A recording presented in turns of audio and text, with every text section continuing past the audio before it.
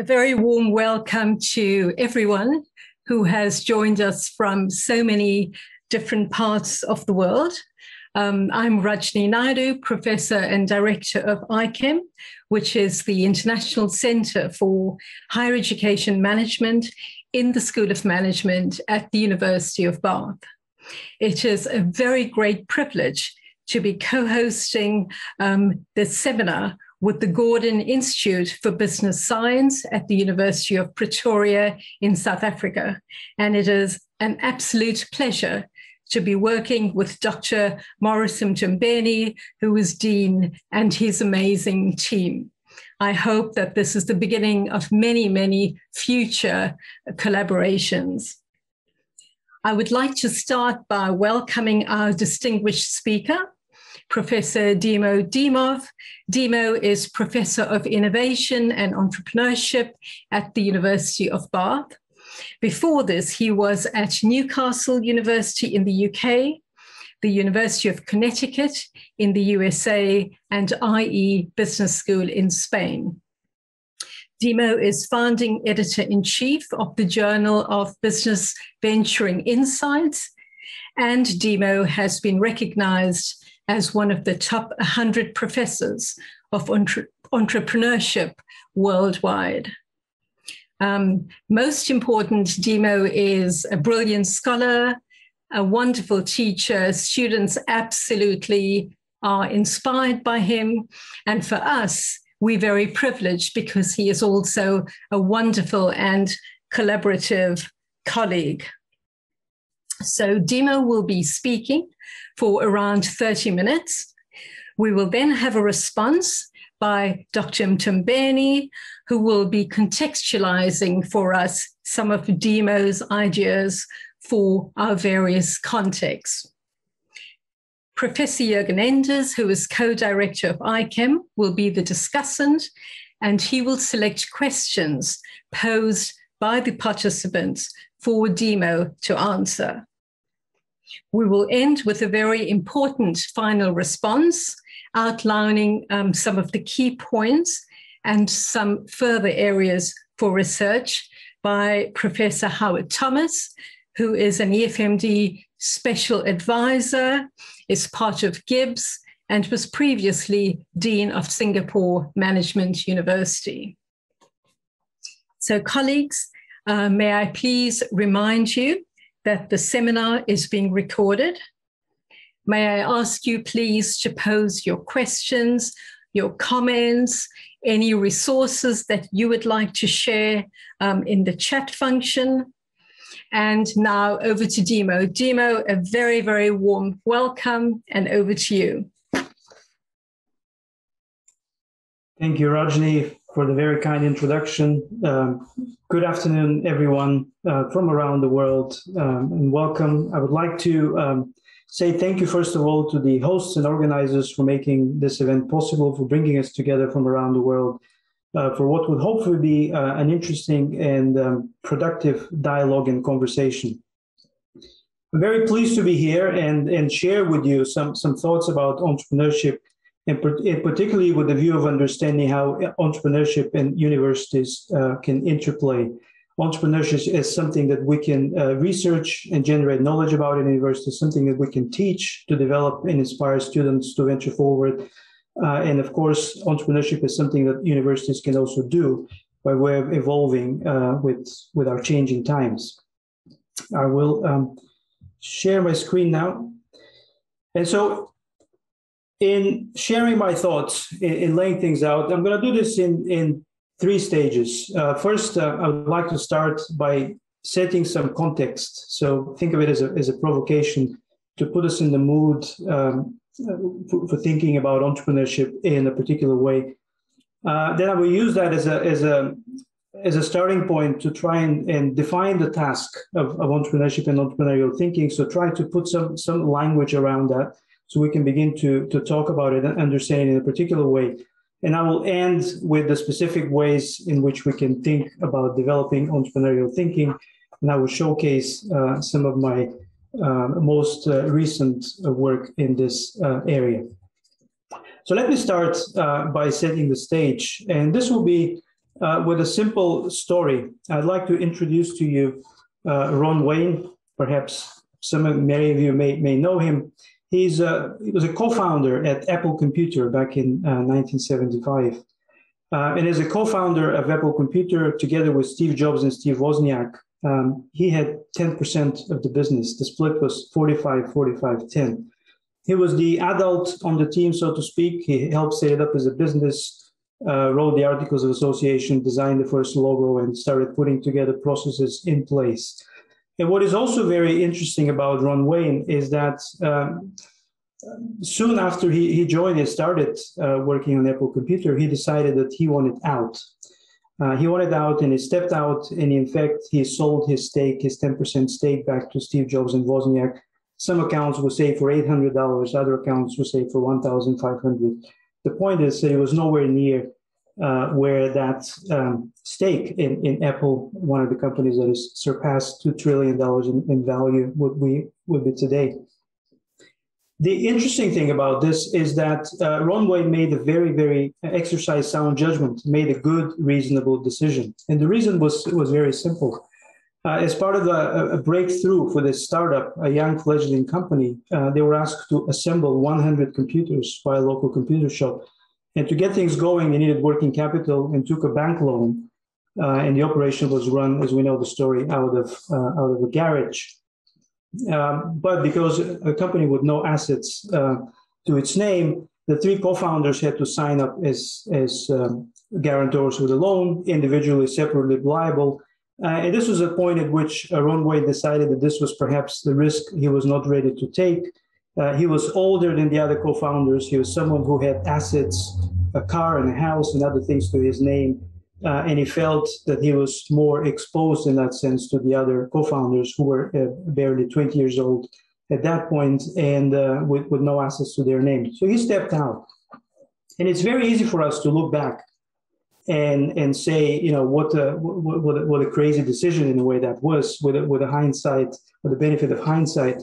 But Ron Wayne was not alone. So to, to reiterate the point that he made a good exercise sound judgment, uh, Hewlett Packard, at one occasion, decided to decline to fund the new company. Uh, Commodore was offered to buy the entire company for a, a small amount of money and um, declined. They preferred to build their own computers. Uh, and also Atari, who at the time were making video games, also declined to, to fund. Uh, and most interesting, perhaps, Hewlett Packard, uh, when asked on another occasion whether they wanted to claim intellectual property rights on what was essentially created on their facilities. Steve Wozniak was working at Hewlett Packard at the time. Um, they they considered that and, and declined. So they issued a document uh, releasing Apple to to, to venture uh, as as they wish. So the point here is that a large group of, of really really smart people made this made this decision, and of course they don't have the benefit of hindsight to look to look from from where we stand 40 years later and and understand how things have happened. So this raises a very interesting question about what good judgment is and what reason is when we when we exercise. And of course universities is, is a place where we seek to exercise uh, reason. Of course this reminds me of, of mark twain's interesting uh, famous saying that uh, good judgment good judgment comes from experience and ex- experience comes from bad judgment. But it sets up a little bit of interplay. But let me linger on the topic of reason. And uh, it it uh, it brings this this very um, interesting quote from george bernard shaw uh, the reasonable man adapts himself to the world. The unreasonable man assists, persists in trying to adapt the world to himself. Therefore all progress depends on the unreasonable man and if we take this from someone who uh, understands deeply, uh, you know, human condition and its in its history, to uh, to the business world, and this is Marc Andreessen, uh, who was a uh, founder of Netscape, the first uh, browser, and, and, now a prominent venture capitalist in Silicon Valley, reflects on the investments that they have made as, as venture capitalists, and basically says. It seems like we've made all our money on successful and non-consensus investments. And he translates non-consensus effectively as, as crazy things, uh, investing in things that look like they're just nuts.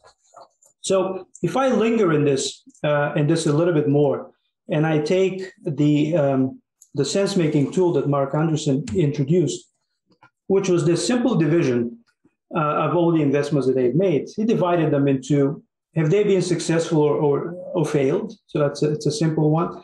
And on the horizontal dimension, whether they've been consensus or non consensus.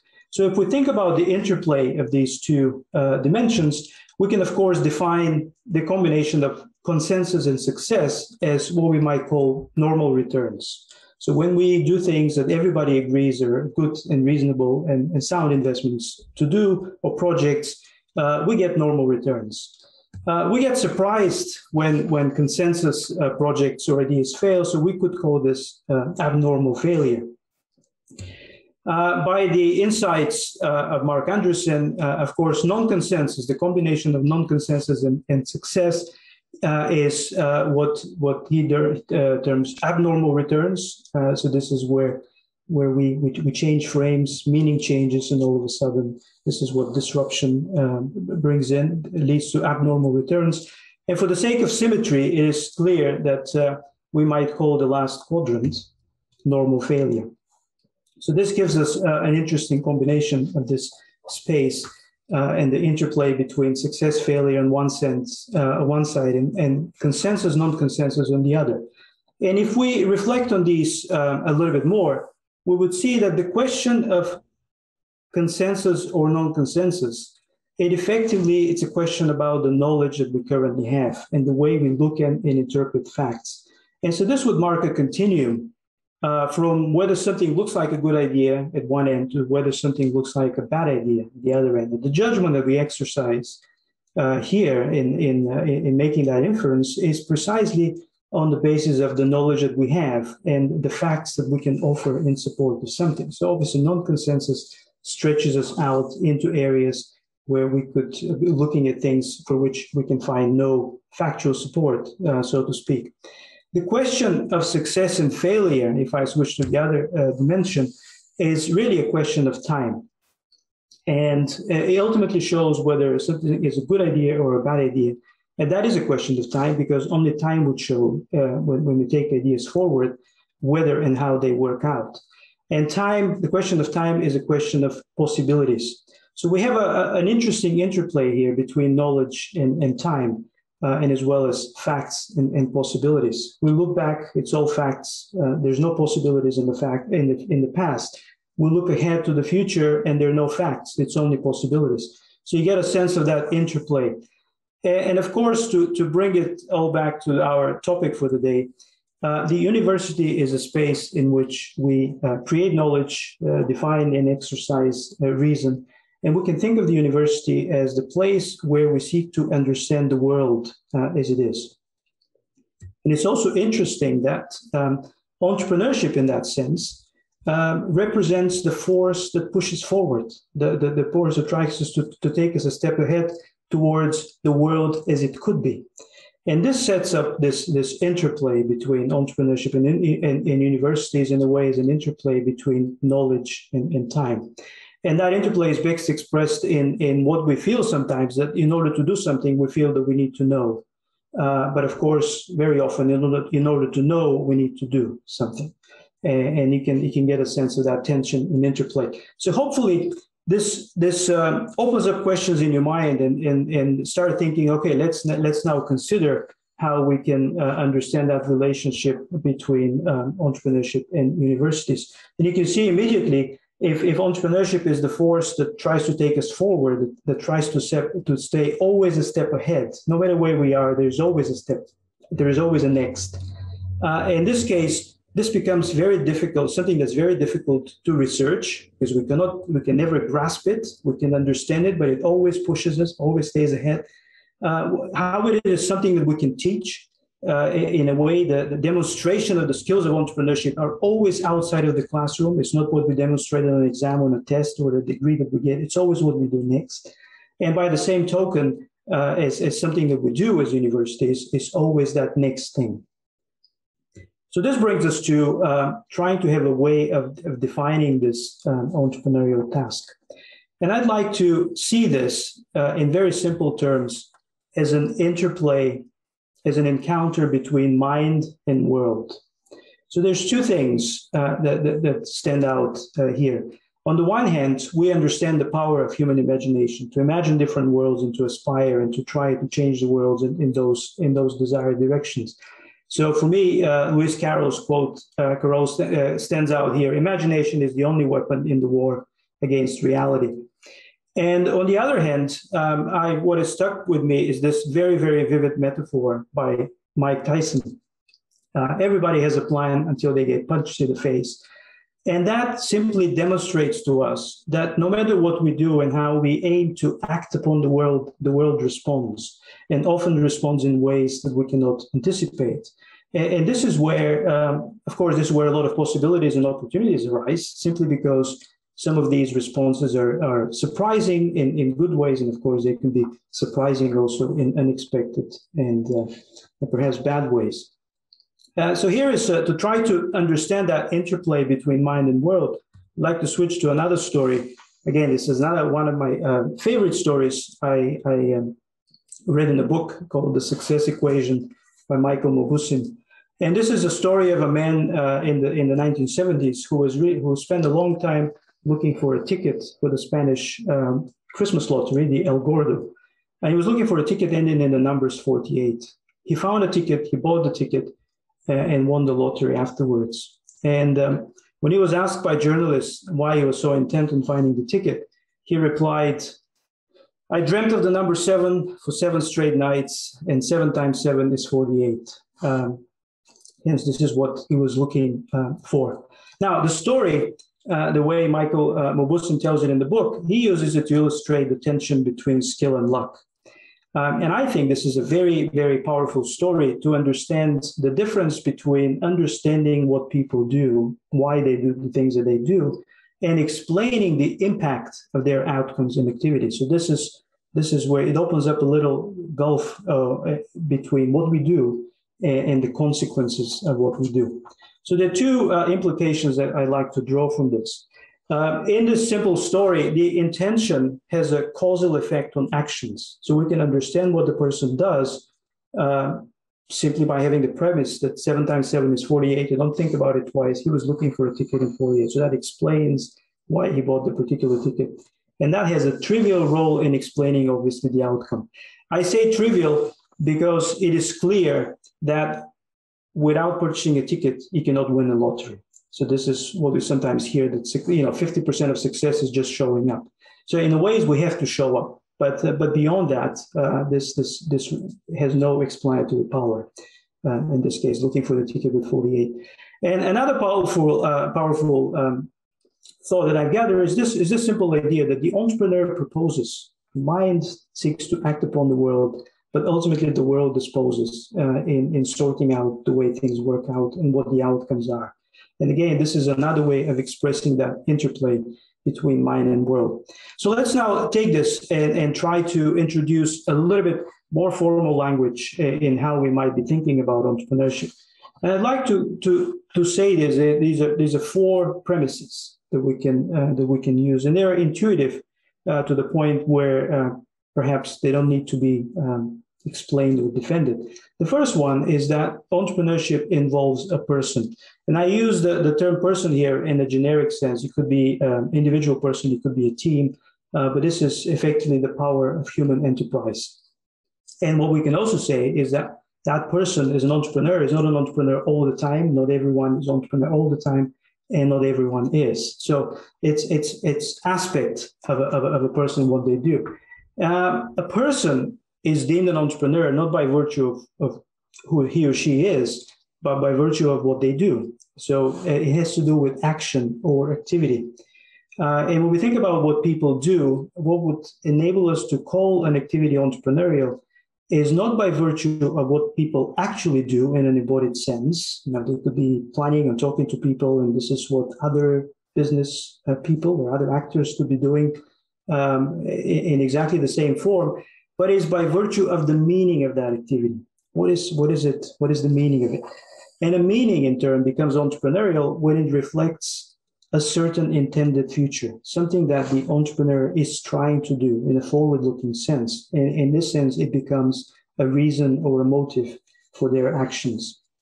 And this takes us to the idea of meaning uh, and, and intention and imagination. And to understand that, that this relationship between action and meaning, uh, it's interesting to think about what happens uh, with, with us as humans at about three or four years of age when we begin to develop um, abstract thought and, and, and, our imagination develops. Up until that point, uh, we could say that there is a, there is a union of motives and perception. And I'm using here some of the ideas of Lev Vygotsky, uh, Russian uh, developmental psychologist, uh, who has a lot of seminal ideas. And with that union of motive and perception, we cannot really separate meaning from the objects that we encounter, the actions of what, what we do from the, from the objects with which we interact. With the development of abstract thought, we begin to separate the objects from their meaning, or we begin to separate, when we use words to describe objects, we have that separation between concepts and objects, if you wish. And that creates a separation uh, uh, between what Vygotsky calls the field of meaning and the field of vision. So we can look at things and we can look at them in, in, in physical or brute, um, as, as brute facts. But the meaning of those things is something that we construct uh, as humans and lay over that over the, over the physical objects. And with that idea of a field of meaning, we can see how action can arise from ideas rather than things. So we can have a meaning that the same meaning enables us to engage with different objects. And by that, uh, by, by the same token, uh, a, a, motive that we have to act over the long term is something that enables us to, to connect our actions and to see them as part of a coherent whole. This is the development of, of, of will, if you wish, or forward planning or some kind of systematic uh, activity. So this gives us a sense now that, that entrepreneurship is something that we do and it operates under this realm of a sense of opportunity that we see for the, for the kind of future we want, we would like to enact or create or bring about. So it's not about the world as it is, but it's about the world as it could be a little bit more formality. Now, this comes from um, philosophy of language and mind and the way in which we can think about intentions in, in the world that we imagine is something that we hold in our minds. So the content of that of that of our thoughts, uh, imagination, if you wish, is what the future is imagined to be.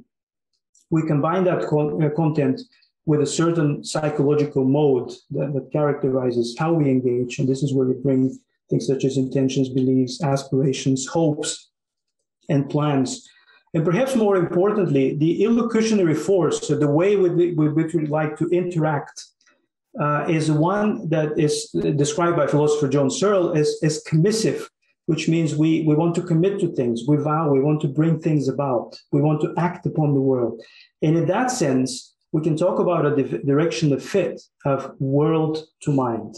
We try to fit the world to what we intend to do, fit the, the world to the mind. And it is in this sense that our actions are fulfilled or unfulfilled. Our intentions are fulfilled or unfulfilled, but we cannot really um, call them right or wrong. Uh, they're fulfilled or unfulfilled. So there's there's nothing wrong about aspiring for things to be in particular way. So this is really uh, this is really important to emphasize.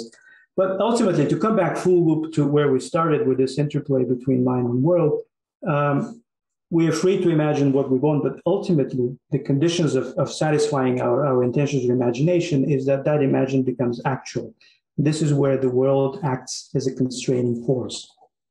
So with this little um, abstract uh, detour, now we can think about this sense of opportunity uh, uh, of trying to act as entrepreneurs upon the world as a, as a, as a triangle, as intentional space with three components. First, there needs to be a person there. So it's always someone's sense of opportunity and what they're trying to do. But beyond looking, you know, aspiring and believing and desiring, we need to have uh, something more concrete. We need to be able to articulate what is it we're trying to do. And this is where I talk about this, this uh, sense of a venture concept. We need to conceptualize what is the kind of world that we'd like to bring about. But equally, uh, whatever that world is, we also need to have a sense of how we might get there. So this is the, the idea of theory of change. So, so very briefly, uh, the, these two connecting concepts here. Uh, venture concept is simply giving form, shape, substance to, to imaginary future. being able to look at the world as it is and see what's not there, imagine what's not there, and, and begin to aspire to bring it about. So, unless we're able to articulate this, uh, we cannot really bring people on board. So, one essential uh, role for entrepreneurs is to frame the kind of future they want to aspire to. And, and framing always creates a tension between the world as it is and the world, the world as it could be. Uh, and it is in that tension that many people can find aspiring uh, and, and uh, look to support and join in these efforts. But as we um, as we imagine as we imagine these ends, we articulate these as, as venture concept. We need to be um, conscious that what we're engaging in is, is effectively a complex task, and as a complex task, we need to have a sense of how we might get there, and we need to have the ability to break that overall purpose, so to speak, this overall sense of venture into particular milestones. To have an understanding of, of what the process uh, might consist of and what the process that we might aspire for. And then for each milestone, we, we need to begin to think in terms of concrete actions. So this is a, a, an interesting, again, we keep talking about interplays here. It's an interplays between eyes on the horizon as, in, as in what we envisage, but also having feet on the ground, is it being able to formulate what is the next thing that we're going to do always trying, being able to do something concrete. And, and it is that theory of change that allows us to, to keep all of these things together. So this now brings us into this sense of seeing entrepreneurship as an exercise of art and skill.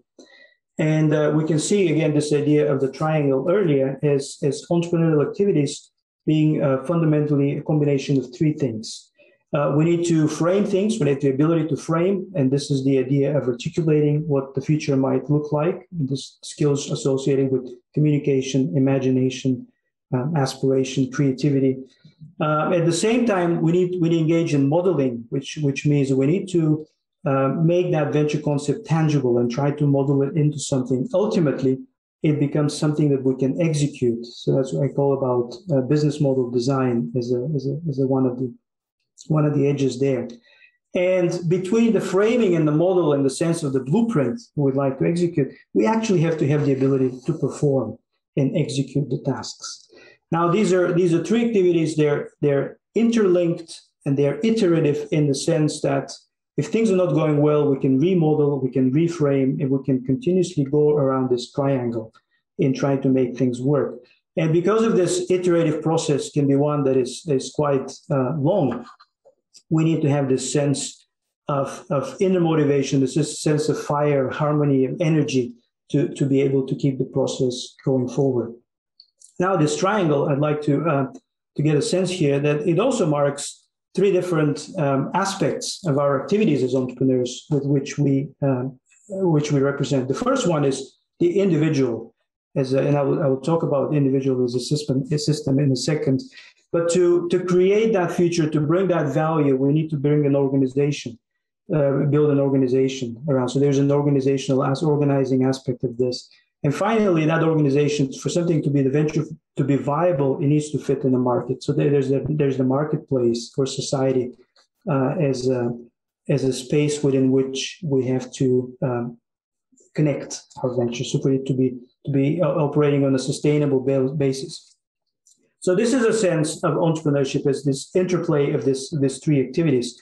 And now this brings us uh, to the idea of developing entrepreneurial thinking.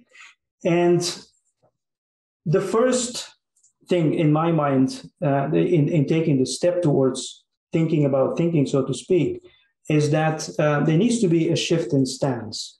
And that shift in stance is uh, what I call, although it's it's not uh, my idea, it comes comes from the, the work of, uh, of uh, Gregory Bateson on the, ecology of mind. Is this idea of going from lineal to recursive. And lineal simply means that we, we, we seek to act upon the world in this linear sense. If, if things are not working out, we just change what we do. And shifting from that to recursive means that as the world responds, we have the opportunity to reflect on who we are, how we think, where we are, the context in which we are, and we try to relabel, reimagine, redefine, remodel as a, as a, as a way of, of moving forward in interactive. So we, this is the space in which we exercise reflection and, and metacognitions. That's what recursive mean. We have a chance at each step of the way to, to reflect uh, and, and reformulate how we, how we move ahead. And I would like to, here now to highlight uh, this. Uh, this brings us to um, what uh, I might call the realm of thinking. In this recursive sense in which we interact with the world, this realm of thinking implies a simple process uh, through which we go in, in engaging with the world. We take things as true. So there's a, certain premises that we use to formulate what we do. And doing and making these commitments of doing is simply the things that we'd like to make true. So we take things as true, seek to make things true, and there are consequences to which the, the world responds. Just like in a tennis match, we always get the ball back when we try to react to it. And uh, so this thinking is really about the premises and the commitments that we make. These are, these are two different ways in which we exercise our thinking. What we take as premises for what we do, and what we actually seek to do in terms of the commitments we would like to execute. Now, this area, the first area around this interplay between this thinking through and, and, and making through, is the area of meaning. And this is, again, the context, the discourse with which we engage, the meaning with which we operate to a large extent defines and influences what we take as true and what we seek to make true. So it gives us a sense of what we aim to do. On the consequences side, if we start thinking about the world as, as a system of, of interconnected parts, uh, we can begin to understand um, the fact that some of these consequences cannot really be predicted, and we just need to take them as they, as they come. And this feedback loop that we have in the middle is this idea of recursivity, as, again, the ability to react to feedback all the time and be reflective and reevaluate the premises and perhaps reevaluate and change our commitments. Um, and uh, with this, uh, with all this in the background, I'd like to, to, to highlight here the, the recent work um, that I've been doing with, uh, with a um, great friend and colleague, Professor Joseph Pistrui, uh, from the IE um, Business School in Madrid. And we've been uh, co-founders this frame uh, kinetic thinking as a, as a framework for developing uh, new ways of thinking. The central premise of, of, of, of kinetic thinking is that we each have um, perhaps default or habitual ways of thinking that reflects our socialization, our working life experience. And when we when we don't think about how we think, we tend to respond in these habitual ways. So kinetic thinking is the simple idea that's that by, by being reflective and, and more metacognitive about how we think, we can enable new ways, new styles of thinking, which enables us to respond to the situations in, in, in an expanded way, interact with these, situations, engage with those situations in an expanded manner. So to come back to the earlier idea of entrepreneurship as framing, modeling, and performing, uh, the simple ideas of systems, meaning, and recursivity lie at the basis of, of kinetic thinking as a way of enabling new styles of thinking, managing, and leading. And what these represents, in each case, whether we manage ourselves as individual thinkers, whether we manage an organization uh, where we, we seek to work and enable others, or whether we lead an organization in terms of where it fits in the marketplace, in each of these cases, we have this simple interplace of the levers of premises and commitments. They just look different depending on whether we're just working with ourselves, uh, working with others, working with entire organizations. So at the, at the, if you think about individuals as a, as a thinking system, as a system of habits and beliefs, for individuals, this recursive sense of engaging in the world comes down to two things what we see and what we do. Uh, this is the way we operate our thinking. And the way these we operate these two levels define distinct styles that reflects our habits. And we've developed tools whether we enable people to uh, get a sense of what their habitual style or default style is and, and give them a map for how this could be expanded in a wider range. Within organizations, when we work with others, these two levers uh, of premises and commitments uh, relate to processes and priorities. How do we set priorities and how do we oversee processes. And again, that defines uh, how these are operated, defines a set of, of managing styles in a similar, we get a sense of what our default style is, but also how we can develop as, as managers of others. And finally, in, a, in, a, in an organizational, in a, in a sense in which the organization interfaces with the market and we look at ahead, trying to define our space in the marketplace, a leader, these two, these two levers for a leader work uh, in the sense of the horizons they set for the organizations and the boundaries within which they would like the organization to operate. And again, that defines a set of styles. Uh, we'll get a sense of what habitual style might be and how these styles might be developed uh, in, a, in a broader sense. I would like to end now on this uh, reflective note that uh, this idea of interplay, of interacting with the world in this back and forth manner, ultimately raises the question of how we can leverage uh, what life does very well. Life is a complex form, is, is, is evolving and learning and co-evolving in this interesting space between order and chaos or order and disorder. And this is about steering the journey. Entrepreneurial thing is about steering that journey to, to be able to, to navigate and harness the path of complexity, which is which is what brings learning and co-evolution. And as part of that steering, to use the, the, the metaphor, the metaphorical language of this this little rowing boat or, or, canoe, we, we have these two levers at our at our disposal really. We can regulate things, which is trying to make things orderly, but at the same time, if not to not to let things become too orderly and rigid, we have this other lever of novelty, which which enables us to, to go back and steer towards the middle. And it works exactly like this in the other direction. If we have too much novelty, it comes a point we like to bring some order and, uh, and, and structure to things as, as a way of finding that middle path. Um, so on that note, um, this is my reflective end. I'd like to thank you for your, your attention and patience and uh, let the conversation begin.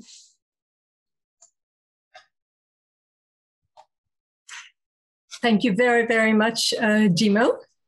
Um, that was an amazing uh, discussion because you you took something that was um, that is so so complex. Um, there are so many different levels. Uh, there, there's so many overlaps. There, there's so many kind of um, contrasts, for example, between order and chaos. Um, the interplay between imagination and time and opportunity and, and reality. And, and what you did is by, by really uh, using stories and, and using metaphor, you really uh, brought that alive for us. And I'd like to thank you very, very much. Um, that was just really incredible. And um, kinetic thinking, something I would like to think a lot more about, and I'm sure that may come out in, in the questions as well. So thank you for. Um, a, a, presentation that really sparked all of our um, inner fires and I'd like to now turn to, to Dr. Morris uh, for his response. Morris, over to you. Thank you, Rajani, and thank you so much for inviting us to co-host this event with Bath University. And I really want to take the opportunity to thank you, Dimo, for really a wonderful and provocative presentation. And it's always a pleasure to listen to an accomplished scholar and you certainly did not disappoint. Too often in the field of entrepreneurship, we come across a refrain that entrepreneurs do not have uh, time to engage with higher education because the view is that we are too academic and we are disconnected from the real difficulties of entrepreneurship but more importantly, the investment required for entrepreneurs to engage with academia is not rewarded by the opportunity that they lose by not being in the market. This presentation of yours, this provocation of yours, is a powerful and, and simple uh, renunciation of that argument. It presents an alternative perspective, one that I believe resonates not only with me, but with many on this webinar. And that is higher education institutions have an important role in framing, shaping, and enacting entrepreneurship. Of course, we are not suggesting that we are the only role players in this regard, but I think what you have done in terms of how you've helped kind of in a simplified way bring a lot of academia into this process without necessarily referring to the depth and wealth of knowledge that led you to those insights further demonstrates what role we can play in the field of in, in the field of academia in in acting, enabling, and facilitating this process of entrepreneurship. As an accomplished scholar, you both as an editor in chief of Journal of Business Venturing and also an author in highly ranked journals, you've made a significant contribution in the field. I really appreciate how you invoke words, especially if I refer, if you don't mind, Dimo, in your 2021 article that you co-authored titled One Tiny Drop Changes Everything, Constructing uh, Opportunity with Words that has recently been published in Journal of Business Venturing. Here you aptly, in this presentation, linking to this, to this article, you aptly demonstrated this truism by linking George Bernard Shaw with Marc Andreessen and Mike Tyson. I don't think Mike Tyson is often uh, quoted um, in academic spaces, but certainly I've come across that quote and I've always found it to be enormously powerful. You've done so to illustrate this notion of entrepreneurship being that about separating the normal from the abnormal. This notion, therefore, of reframing what the late, the late uh, uh, Clayton Christensen of HBS calls disruptive innovation, being about this operating this abnormal space for the underserved and certainly many in the world remain underserved, which then suggests there's huge opportunity for entrepreneurial framing and entrepreneurial thinking and, and new entrepreneurial processes, particularly in a world that is now going to be refined, redefined, and redrawn post COVID or in the new COVID era, the world of pandemics as we are now getting to become accustomed to.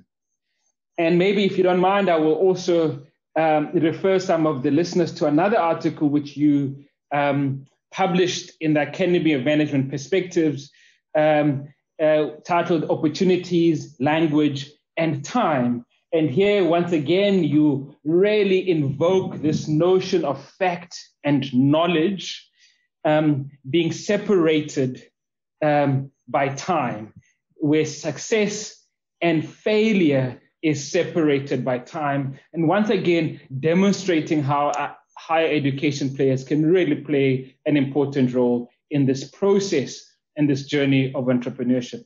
Finally, the idea that entrepreneurship is about people, i.e., who does what and for whom, this notion of a venture concept being about the purpose, this meaning making, um, this bringing life to ideas and concepts, but not only being about purpose, but also being about uh, the steps that you have to think about, as well as the milestones to ensure that we are practical in the ideas that we imagine. Now, ultimately, closing the loop again back to the world of academia is this notion that the tools that we bring to this entrepreneurial conundrum is this notion of theories of change. And to that extent, I want to thank you for really taking us through this recursive journey, if I may, because I am that way inclined, felt more like a discursive journey um, than a recursive one, but we can agree to disagree in due course. And I want to thank you, Rajani and Dimo, and hand over back to you. Thank you, everyone. Thank you very much, uh, Morris. Um, you've really extended and contextualized and, and thrown more insight, especially for very many different types of contexts and the university. Um, and that has also given rise now to us thinking uh, in different sorts of ways and, and to also engaging with some of the questions that have already come out in, in the chat about the role of the entrepreneurial university. And I liked your uh, discursive and recursive analogy as well. So very many thanks. And I now turn to uh, Jürgen Enders, who is the uh, discussant, who will uh, look at the questions and pose them to Dimo. Um, colleagues, if you could please pose your questions in the chat function. Um, for those who have already posed questions in the Q&A, I will um, transfer that to the chat function. Jürgen, over to you. Thank you very much, Rajni, and very many thanks uh, to Dimo. Um, very inspiring, very insightful. Um, I think I will not take now questions in kind of the sequence as they appear, but rather try to make that into, if you like, thematic blocks. Um, there was there was something that also came to my mind uh, where somebody wrote to be creative means to be happy. Um, and I let me put it as a question to you, Dimo, in the way of what do you think might be the role of emotions in all of this?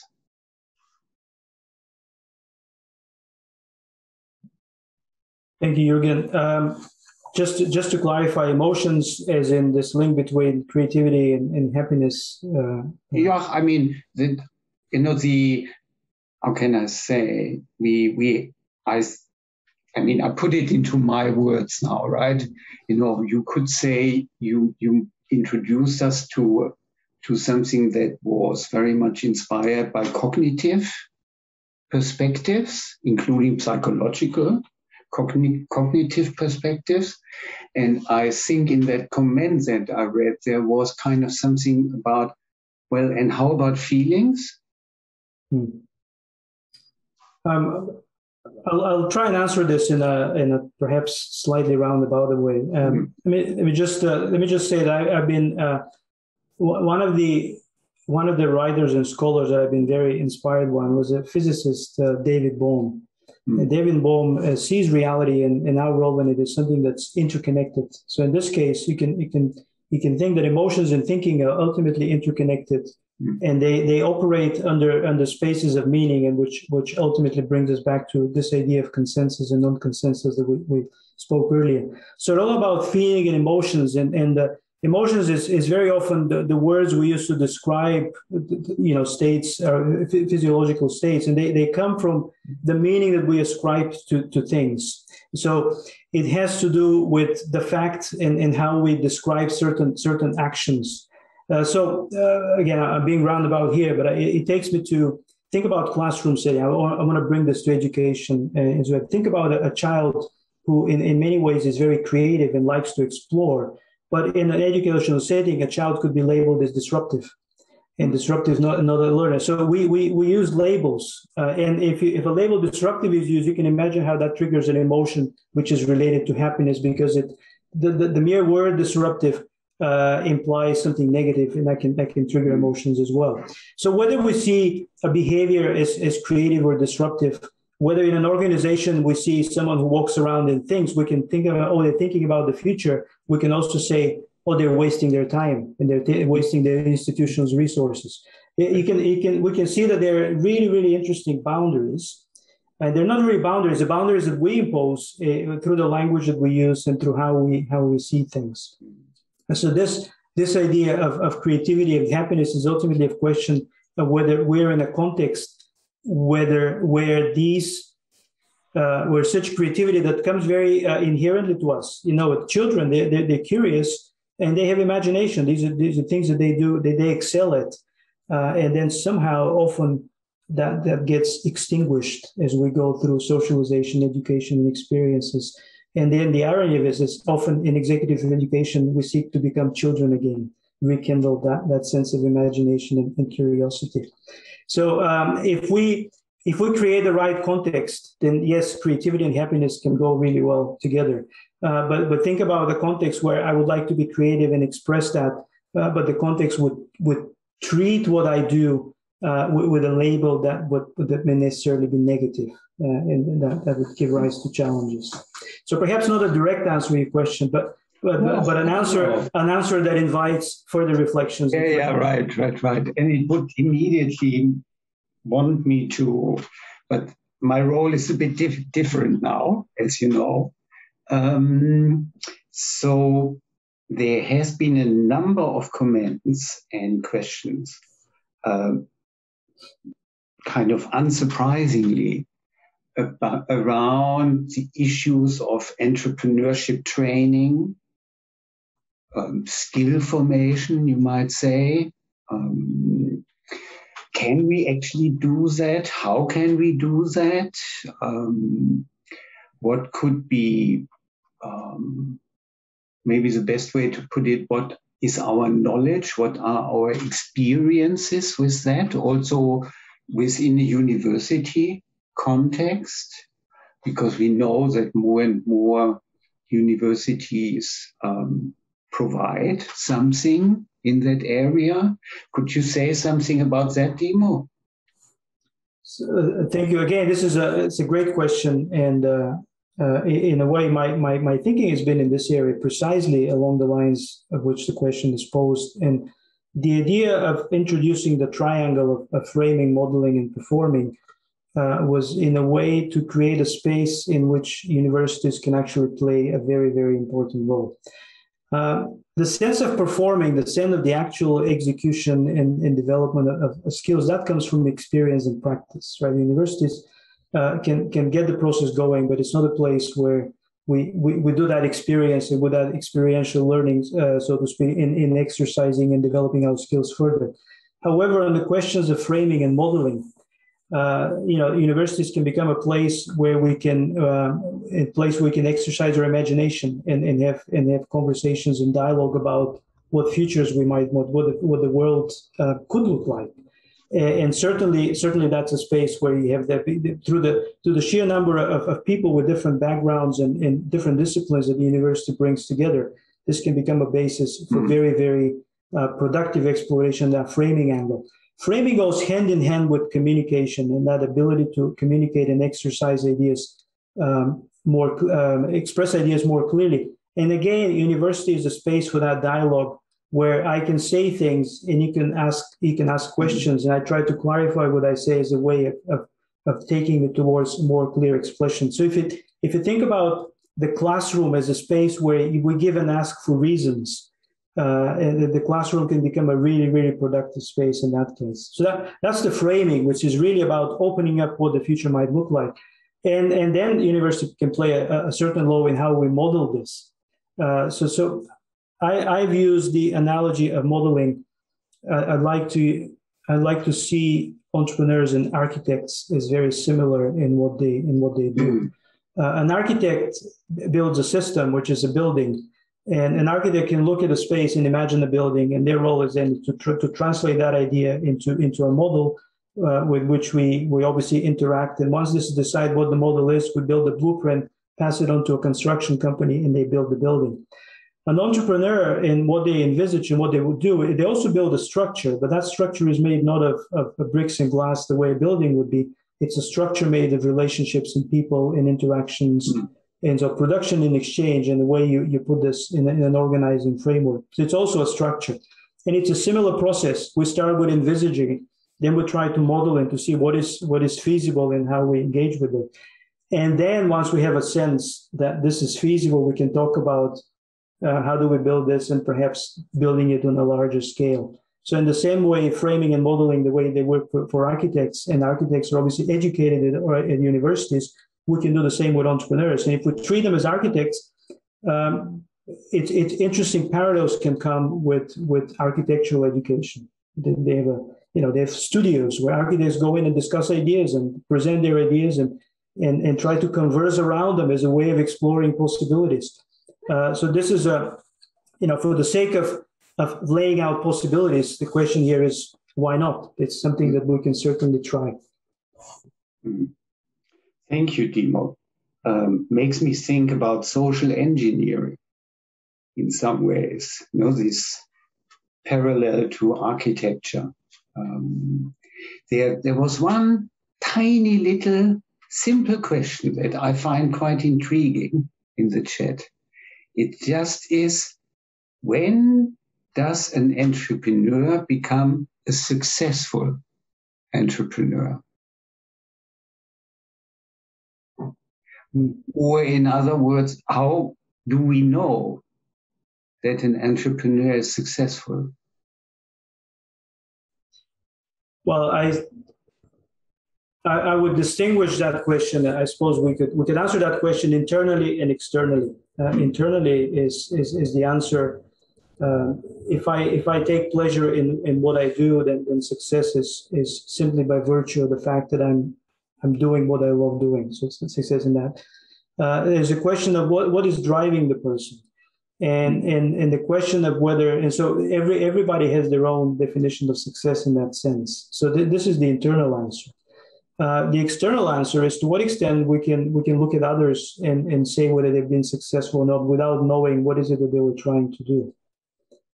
Um, and I, I, again I'm a I give these roundabout answers, but uh, this reminds me of a scene, and I, I, apologize if I take people to. There's a great scene in the film uh, The Magnificent Seven. This is the classic version from the 60s.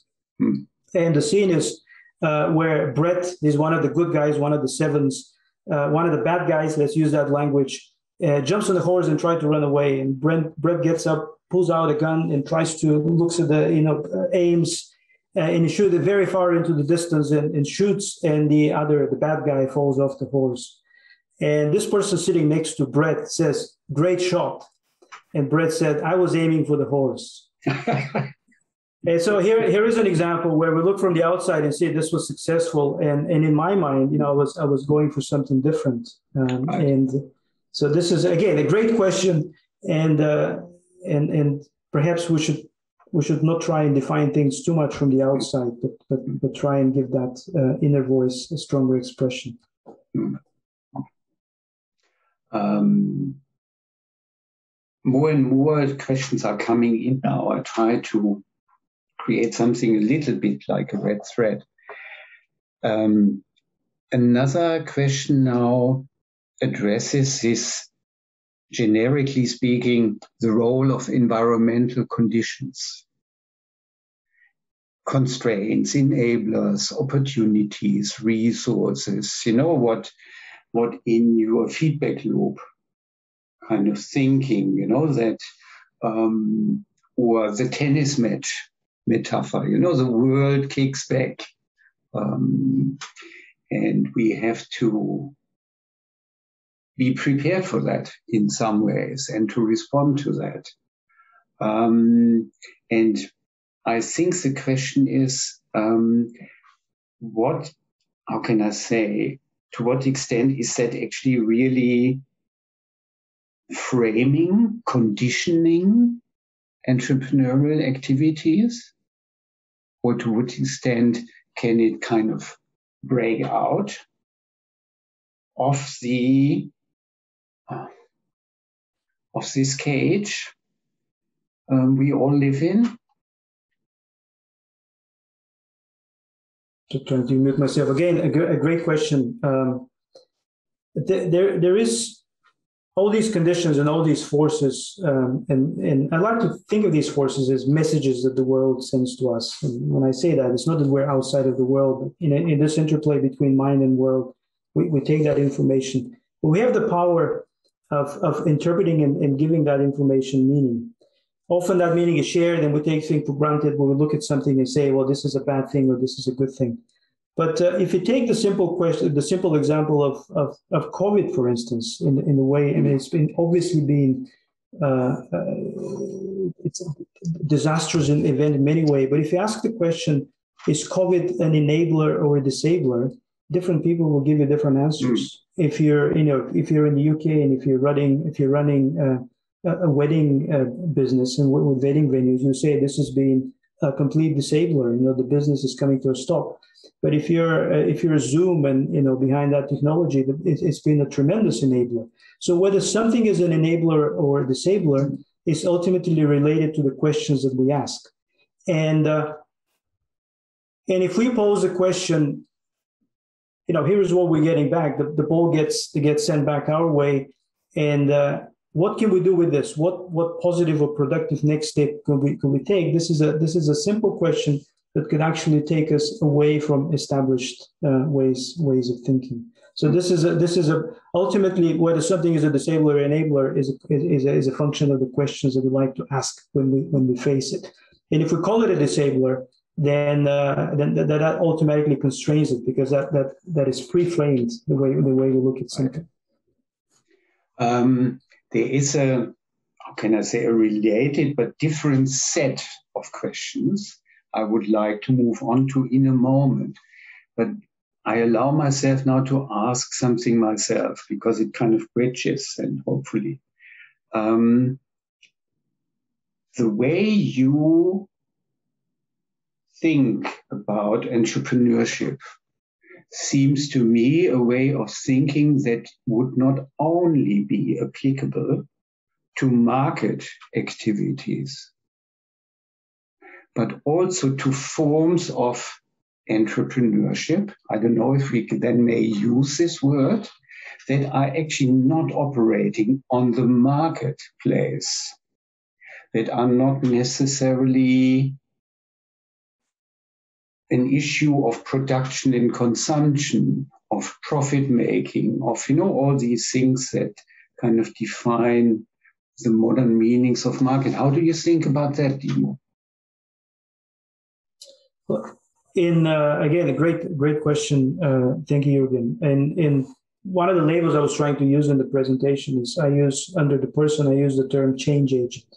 Mm. So when I look at the entrepreneur as a change agent, that mm. immediately gives you a much wider range of the, context in which we can we can talk about change. I'm just mindful that um, I don't want to be in a situation where where I would say, well, entrepreneurship needs to take over the world. Everything is entrepreneurship. Every time we talk about change, but I see I see that there's a huge overlap between a change agent and entrepreneur, and and sometimes entrepreneurship entrepreneurship has historically this connotation of being related to business um, but of course, uh, I, have recently, and it's something I'd love to investigate, but something that I came upon about the origin of the word entrepreneur, and we associated with the French uh, to undertake, entreprendre. But uh, I found an origin in Sanskrit, uh, which which means antaprana, meaning uh, inner motivation, inner breath of life.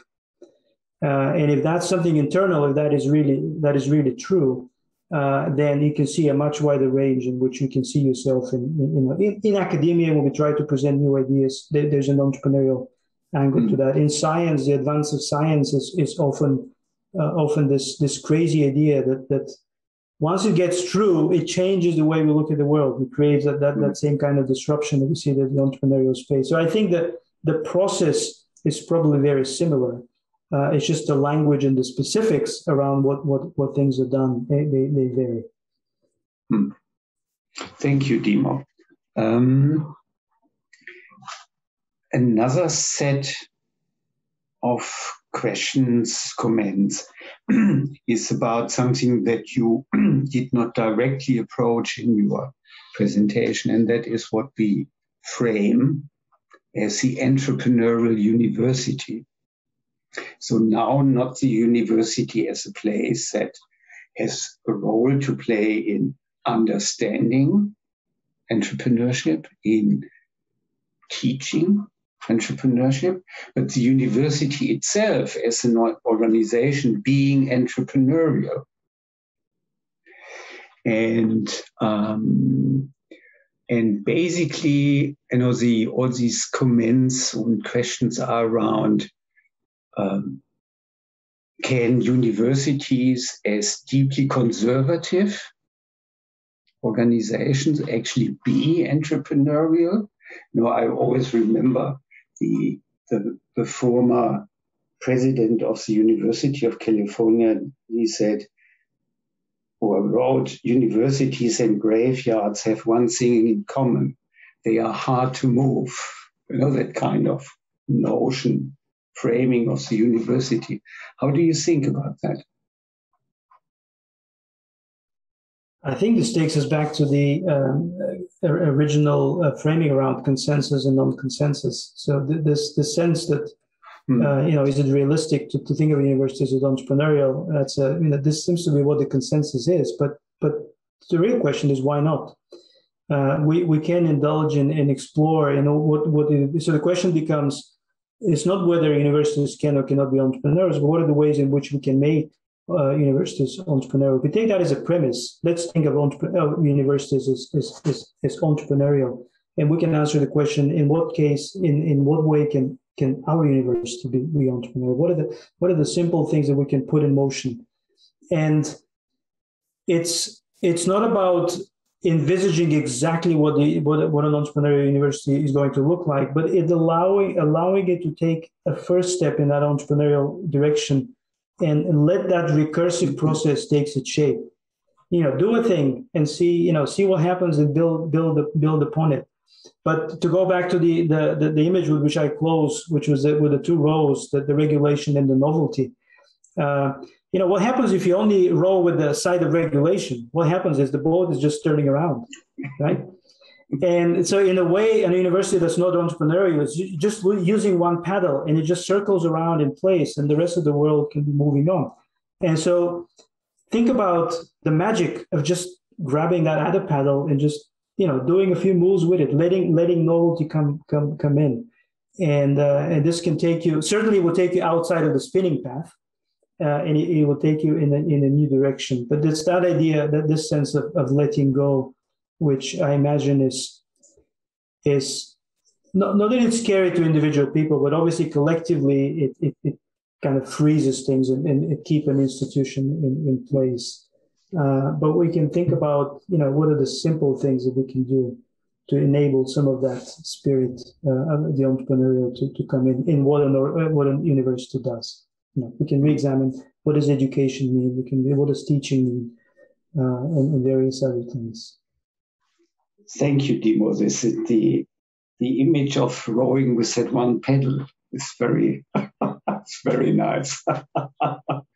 and it actually links up very nicely to the other keyword that popped up in this stream of little conversations around the entrepreneurial university. And the other keyword is risk. Um, so there are people saying to what extent would society allow universities to be risk taking? To what extent would universities themselves allow themselves to be risk taking? And I would personally add to this we have lived now, at least in our country, in, in a regulatory world where we have to manage risk. And we have just published something based on a whole series of leadership interviews in British universities, you can see how that makes leaders risk averse. They row with the one pedal. Um, be, partly because they mix up, they do not understand the difference between risk and unpredictability, I think. Um, so what what is it? Uh, what I'm trying to say is, I think regulation frames the mindset. If you see what I'm trying to say, and there seems to be an interesting dilemma or precarious balance um, between these things. So um, how risk taking can universities be?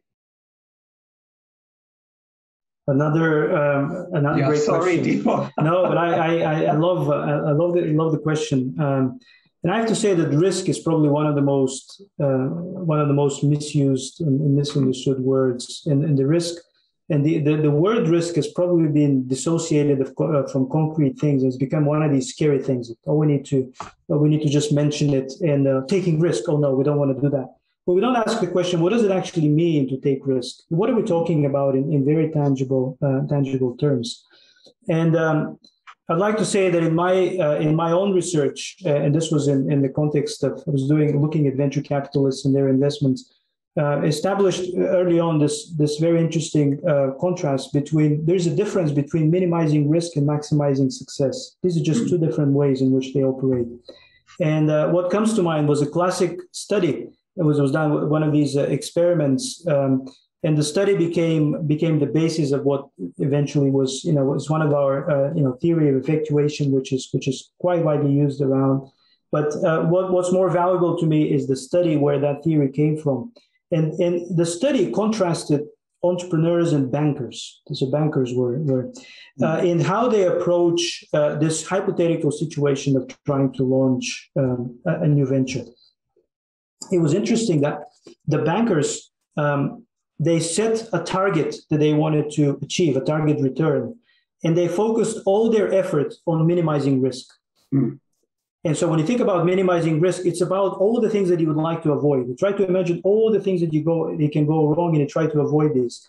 But of course, thinking about the things that could go wrong that you want to avoid uh, doesn't mean that you have a, a productive way of, of, Doesn't mean that if you avoid these, you you will be you, you will be successful because success could come from yet another thing. And what entrepreneurs do, and that did in that hypothetical scenario, is they set a level of risk, something that they were comfortable with. And this could be, I want to give this a two years of my time, and if it if it doesn't work out, I would move on. But I would have learned a lot two years, and I, I know exactly what, what I what I stand to lose. They quantify the downside, if you wish, and if you're comfortable with the downside, you don't think about it. So you set a level, a comfortable level of risk, and you just focus all your effort on maximizing success or trying to make it work within these parameters. So the question then becomes not whether universities can take risk, but they can ask the question: What is the what is the level of risk with which they actually right. be comfortable? And uh, you know, what does risk look like? Is it is it giving someone you know that they can spend some time exploring something? Risk doesn't have to be necessarily financial. It's, it's uh, universities have this great advantage of, of bringing together um, excellent people, and, uh, and, and perhaps it's just about enabling them to work on things and at the end of the day, you know, is it is it could you say that the time that they spend trying to solve big problems is that necessarily a wasted time if it doesn't lead to a result? Know, what's the worst thing that can happen? And, and sometimes when we think about risk, it's a simple question that we don't ask, and therefore we get carried away. Um, and I know, you know, risk registers and all these right. things that they ask me to, to list and, and anticipate. And, and that steers people to, to look in, are we avoiding these things? Are we avoiding these pitfalls? and in a way, we're not looking at the role. We're just looking at, at just making sure we, we avoid things rather than approach. You know, you know, approach and avoidance, classical idea from psychology and regulatory focus theory is two different two different ways that we can engage uh, with, situation. Approach we want to achieve and succeed. Avoidance and we want to avoid things and stay clear of certain areas. So again, this duality, this tension between two things, and that's a, that's a theme that seems to be uh, reverberating across. Thank you, Dimo. Thank you. Very interesting. Um, there is another set of questions and comments that kind of move now to the role of the people, of the individual. Um, so I just start with I can kind of understand where that comes from. There's a question about can an introvert be an entrepreneur? Or if you want, you know, you could say what is actually the role of personality traits. Maybe that's a way of um, what what do we know about that? You know about the um, how this may, may influence the motivation, willingness, capabilities of individuals to see themselves, imagine themselves as entrepreneurs, and then really becoming an entrepreneur? Another another great question. Um, I think I can. This question you, you, could approach it from from several different angles. Uh, in one sense, if you think about entrepreneurship, is that entrepreneur is is uh, is this sense of inner motivation of, of, beginning of starting things. This is something that comes from the inside, uh, and you could actually say that introverts would be better placed for that because they they, they would be in in in better touch with what drives them internally. If you use that distinction between introverts and extroverts, and extroverts are looking, looking for signals from the outside, looking for the outside to define what they do, whereas introverts would find that that intrinsic intrinsic force. So from that angle, um, you know, you could argue that they would be they would be a better position. Um, from another angle, you would ask, well, in, in the very framing of the question, uh, it, it, seems that people assume that extroverts are better positioned to be entrepreneurial. Right. You know, what, what's the, what's the evidence for that? I don't think we have evidence for that. Uh, and, and we cannot really judge by by the people we, whom we see most often on cover of magazines and what the media is talking about, because by definition, they're the ones who relish the exposure and therefore we see them, but that doesn't mean that this, there's, there's something systematic behind, behind that. And at the third level, uh, you know, part of the part of the entrepreneurial endeavor is is not to work alone, but to find others to work with, and you can see whether where you can actually connect and work with others with complementary skills. And if if if I'm an introvert and I find uncomfortable the idea of selling and engaging with other people, which which requires that that external, uh, you know, to go out there and try to promote my idea, if that's uncomfortable, then then someone else in the team could be could do that. Mm. So so in that sense, there's nothing preventing us from from creating a balanced team, and, and so there there is a you know, there is that balance between uh, introversion and extroversion. And uh, again, I love the book Quiet uh, and the book Quiet was was uh, about the power of introverts, and you know this is so you know there's there's this negative uh, connotation right. that's associated with with introversion, but um, when we think about thinking, you know that's that's the space in which which entrepreneurs thrive, because you can actually take the time to to um, think things through, reflect. So if if if you, if you think about to replace introversion with reflection, then you can say, well, could reflective people become entrepreneurs? Mm. I said, of course. My book uh, came out a few years ago. It was called The Reflective Entrepreneur, right? Which is all about the power of reflection in, in engaging with that recursive journey and, mm. and, and, making sense, you know, with, with how the world responds. So reflection is a very, very powerful mm. um, mechanism. Thank you very much, Dimo. I I personally would like to keep going with this, um, but I'm, we're running out of time. Um, and uh, but very many thanks for um, all these interesting insights and ideas shared with us. Um, I hand back now to Rajni, um, who will move us forward in this uh, session. Thank you, Dimo. And, and thank you. Excellent questions, and, and you, you did a fantastic job in in in, in synthesizing them and you know keeping yeah, the conversation that, flowing. That is with with big hands to our audience, you know, who um, gave me all this to hmm. um, to think about and to ask about. Okay, Rajni, are you there? Yes.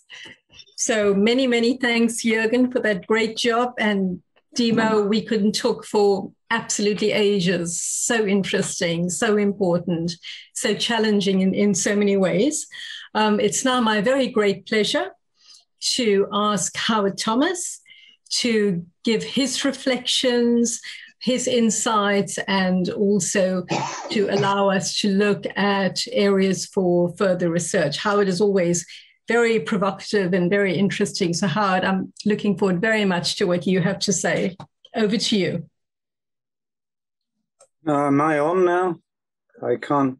I can't see myself, but uh, you are uh, on, Howard.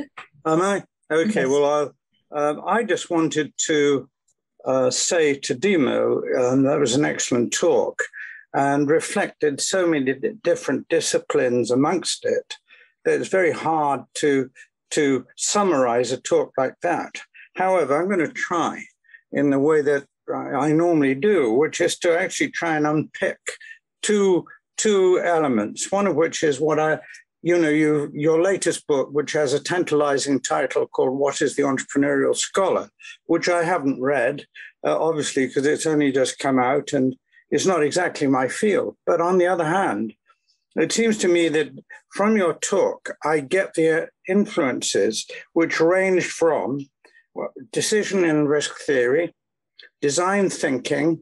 Um, they also come from behavioral psychology and uh, behavioral decision making, and many of the um, elements in your model um, about business modeling and so on are derivations, but creative derivations of those kinds of things. And so I, I welcome those. But the one other thing that obviously came out from people's conversations were about traits of entrepreneurs. I mean, you know, um, traits of roundedness, imagination, originality, resilience. I could go on. And there's a sort of trait theory and cognitive psychology element to what you're writing about. But actually, what I'd like to focus upon is the notion of entrepreneurial universities. Um, um, I speak as a what, what GIBS calls an extraordinary professor, which is that I'm a visiting professor at GIBS. But GIBS um, has a characteristic which is very, very similar to Singapore Management University, which is where I was dean uh, for six years from 2009 to 2015, which was a startup business school. Um, and it started in the year 2000, exactly the same year that GIBS started as a startup business school. And I have just finished a book on um, SMU as an entrepreneurial university, which hasn't yet been published, but will be published before the end of the year. But I think the notion and where you started, Dimo, was you started with a concept of universities as creating knowledge and entrepreneurs seeking to push universities forward. If you take the concept of an entrepreneurial university, uh, one of the things I'd like to do after I finish this SMU book is to do exactly the same study for GIBS at 20 as I did for SMU at 20. But one of the things I would, I would uh, stress in both cases is that they had many entrepreneurial characteristics because of their founding, because of the environmental characteristics and things of that kind. And I was very engaged by the comment, I don't know, uh, Jürgen related it, the comment about his own study or a study that has been done in Bath about um, the leaders of British universities and the influence of regulation upon the activities of leaders of British universities.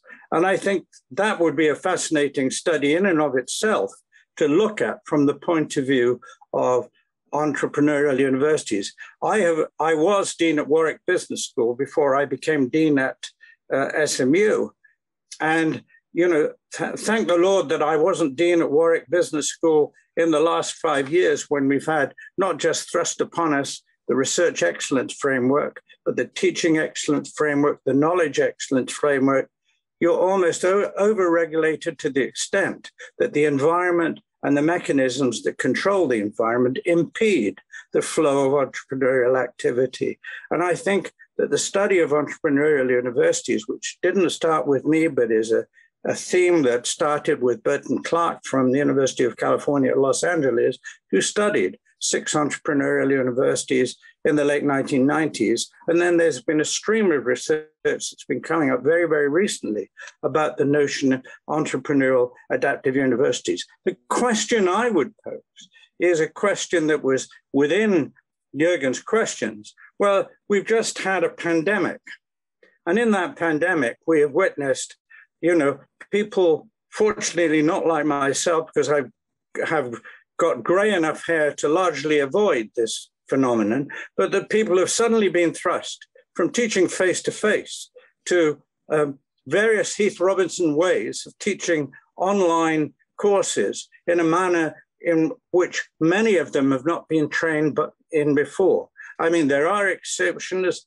When I was in Singapore Management University, we were required to do emergency preparedness for teaching online learning. So even when I was there, I taught a, a course through online learning.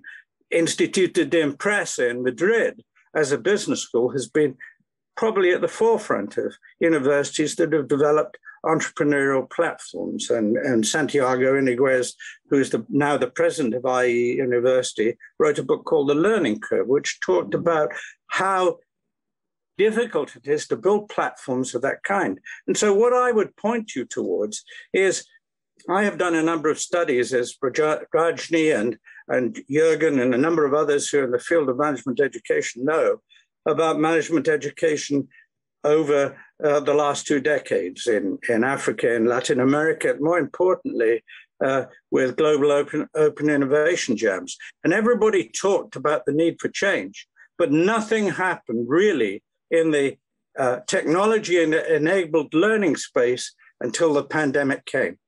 There were very few, uh, if you like, of those thinkers that that uh, Dimo talks about, who actually conceived of the notion of a hybrid kind of model uh, earlier than 2019-20. There had been um, online learning mo- models. I have to say that when I was dean at Warwick Business School, we developed a, what I would call a second generation, early third generation online learning model, which now is number one, I'm delighted to say, uh, for the current dean in Warwick Business School in the FT rankings for online learning programs. We were an early innovator, but hardly an innovator in terms of the quality of technology, but the ability to see how to move uh, an online program onwards. What you saw in management schools worldwide is a very, very quick transition to um, online learning, some with success, some not with success, but people now talking about stackable degrees, about hybrid learning models, and so on and so forth. And I think this came about, you know, there's no such thing as a good crisis. I've forgotten who said that, but you know, I'm not as good at as Dimo at getting my phrases. But I'd like to conclude by a few other metaphors.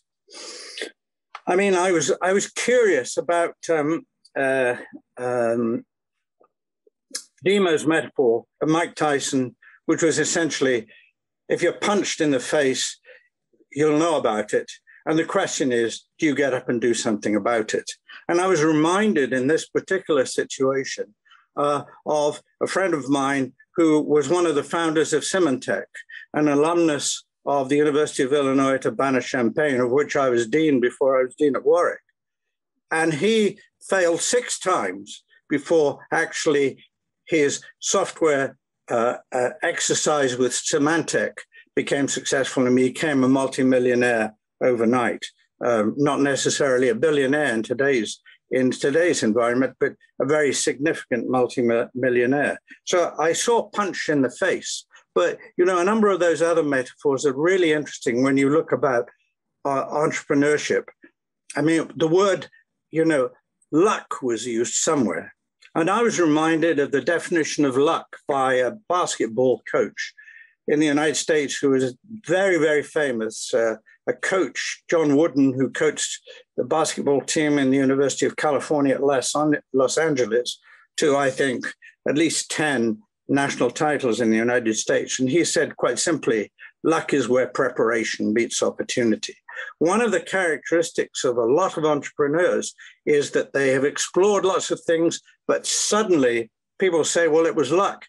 Often he would argue it's where preparation meets opportunity. And I, also um, I'm very keen on the notion of serendipity. A lot of people who make breakthroughs often do it by means that are slightly serendipitous. And I was reminded of this very, very recently when I was looking at all of the responses to COVID 19. And one of them was a response that came out of uh, hospitalization in the first waves of COVID across the world uh, in order to alleviate the symptoms of people who had what is now called long COVID, long COVID. But a very simple translation and exploration of the linkage between steroids and anti-arthritic drugs has produced a combination that's reduced the effects of people going into hospital, not needing ventilators, and so on and so forth. What I'm tr- really trying to say is the advantage of entrepreneurship, and however we teach it, is that people look at new ideas, explore the futures, and give us the insight in knowledge teams in universities as well, despite their regulation, to make the world a better place. And, you know, I applaud Dimo's work. I applaud all the questions. I think that however we teach entrepreneurial thinking, which is from a scholarship viewpoint or through incubators, plus mentorship, plus active team based projects, we should be doing this and doing more of it. And there are, as Morris said very earlier on, people who've been doing this for a long time. Open innovation founders like Clayton Christensen, who sadly died recently, but there are others. And with that, I would just come back, hope that I've done justice to what was an excellent talk, but also to the students. And there must be some students of the uh, higher education program in Bath on this call the, the work that's being done and will be done on, on entrepreneurial universities, it's really interesting work. It's not my own work. There's a hell of a lot of other people doing it. And I think that is a tremendously important research area. So, with that, I know my time is up because the beautiful face of um, Rajni has flashed across my screen. So, I'm obviously getting um, sent to the exit. So, with that, I, I, thank everybody, but uh, I enjoyed it very much. Thank you for the opportunity. Howard, that was absolutely brilliant. Thank you so much. Uh, you did more than justice to uh, Dimo's talk, but you also uh, brought forward some very interesting uh, contradictions and possibilities, as well as the big dangers of um, how overregulation starves innovation and entrepreneurship. And I think, especially for us at the cutting edge of increasing uh, marketization coming together with increasing regulation in this weird tangled dance, um, it, it, bodes uh, a lot of dangers for us looking forward into how we in universities um, innovate. Um, you spoke about some of the students on the DBA, and I think Emma Hunt uh, has done a fantastic thesis on the entrepreneurial university. And I think John Davies is also here. He's also worked on that. Um, so I just very much like to thank Dimo for his just brilliant presentation. Uh, you can tell Dimo from the way in which the the participants just kept engaging. You know, the way I had to kind of more or less force Jürgen off the stage. Um, it was just absolutely fascinating and, and insightful. And I liked the fact that you didn't give us easy answers. You you spoke about the, the conflict, the contestation, the need to balance. Um, and, and also the, the kind of non-formulaic responses, what it means to be intrinsically um, motivated, but at the same time to look at the structural constraints and, and opportunities. And that's a pretty mean feat. So, very many thanks. And Morris and Howard, thank you so much for being just brilliant respondents. You each took us in different directions. And when, when I bring what the two of you have said together, it just kind of adds a very, very different dimension and very important dimensions to, to Dimo's talk. Jürgen, many thanks for your excellent. Um, being an excellent respondent, picking up the key questions, and um, kind of making them your own in a way and channeling them so well to Dimo. And finally, just to to thank the the participants who were really really brilliant. Um, some people have asked whether we will share the comments and the chat, and I think they are so rich um, that we will share them, and we might ask Dimo if he wants to respond to some of them in in writing. So we will share the the, the recording, the slides, and and and the participant comments as well. And very finally, uh, thank you so much to Morris for being the most brilliant um, co-host and to Morris's team, um, who, you know, Howard and um, Dineshri and Siko for their all the work they did behind the scenes, which made all of this possible. So thank you very much, everyone, and good evening, good afternoon, and Goodbye. take care.